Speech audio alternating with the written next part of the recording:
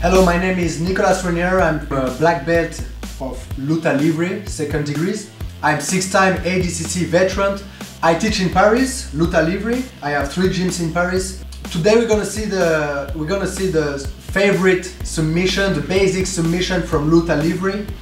Uh, Luta Livre, it's uh, only no gi. It's only we, we train only without gi.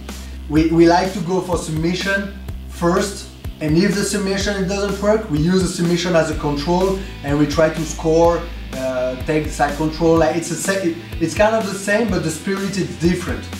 All the the footlock stuff we can do it since the white belt.